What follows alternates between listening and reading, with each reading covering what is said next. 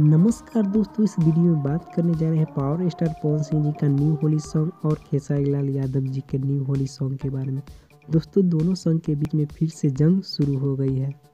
दोस्तों power star Pawan Singh ji का Holi song है लहंगवा लस लस करता जो कि world wide record Bhojpuri YouTube channel से रिलीज़ किया गया है। दोस्तों, खेसारी लाल यादव जी का सॉन्ग है, काजल बदल गई जो कि Aadi Shakti film YouTube channel से रिलीज़ किया गया है। दोनों सॉन्ग को आज ही रिलीज़ किया गया है। दोस्तों, मैं अभी वीडियो बना रहा हूँ। उस समय व्यू की बात करते हैं तो खेसारी लाल यादव जी के सॉन्ग पे है।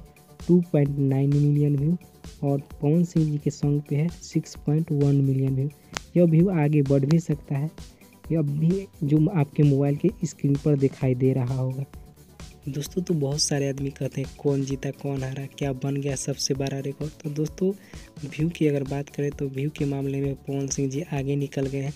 और खेसारी लाल यादव जी पीछे रह गए उतना व्यू नहीं आया जितना पवन सिंह जी के गीत पे व्यू आया जबकि कोई भी सॉन्ग पे ज़्यादा व्यू आता है तो उसको अप टू डेट होने में समय लगता है। तो बहुत सारे आदमी कह रहे थे कि अभी तक ले स्क्रीन मोबाइल की स्क्रीन पर नहीं दिखा रहे तो उसको अप टू डेट होने में समय लगता है। तो व्यू के मामले में तो पवन सिंह जी आगे निकल गए, लेकिन ये से हार जीत नहीं होता है।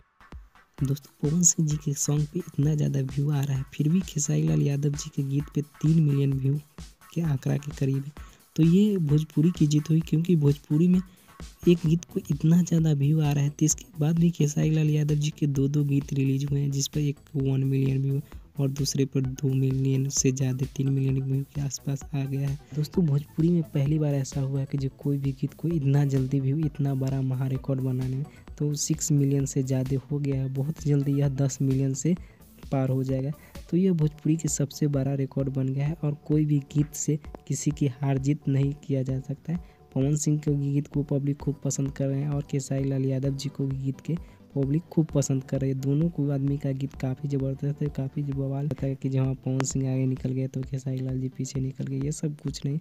दोनों गीत को सुनिए और दोनों गीत से इंजॉय कीजिए और होली मनाइए।